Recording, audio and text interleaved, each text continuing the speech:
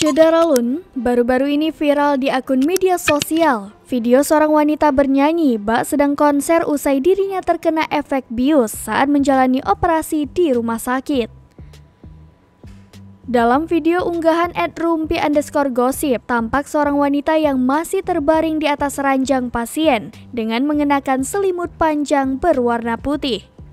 Wanita itu baru saja menjalankan tindakan operasi. Lalu, di samping wanita tersebut terlihat seorang perawat pria berdiri. Perawat tersebut sempat mengecek selang infus yang dipasangkan ke tangan wanita ini.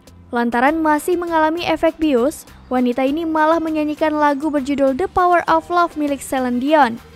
Wanita tersebut menyanyikan bagian ref pada lagu milik diva pop dunia berkebangsaan Kanada itu. Dalam video tersebut juga terdengar suara dari perekam video ini. Ia mengatakan bahwa videonya harus viral.